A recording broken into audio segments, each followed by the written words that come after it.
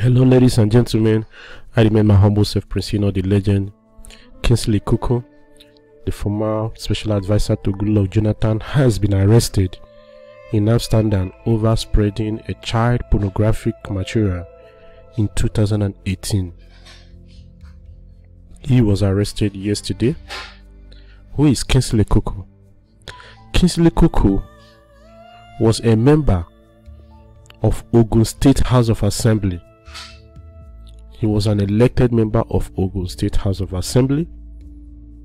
In 2010-2011, he was appointed by Goodluck Jonathan as a special advisor on Niger Delta affairs. As a special advisor to Goodluck Jonathan on Niger Delta affairs, he was also the chairman of Presidential Amnesty Program from 2010 to 2015. He was then accused by US government of moving billions of money he made or billions of money he stole from amnesty program to a US account which was used to start up Air Peace airline, the popular airline you know today. The popular airline you know today.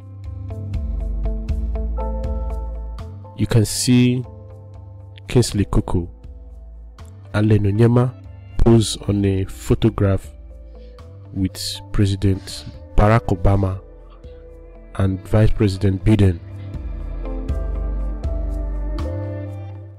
Could it be possible that the money that was used to start up airline, remember, Air Peace Airline is the biggest airline in Nigeria today with over 20 airplanes. Could it be possible that the money that was used to start up this airline was the money that Kingsley Kuku stole from amnesty program, presidential amnesty program? Please, I want us to see our mind. I want us to see. Comment. I remember my humble self, Prince Eno, the legend. At the end of this video, I'm going to add a link where you can go and watch how to make money in digital marketing. Digital marketing for beginners. Basis of digital marketing. I did it. I bought it with my money, but I'm giving it to you free of charge. Thank you. Remember to subscribe to my channel. I remember my humble self, Eno, the legend. Thank you.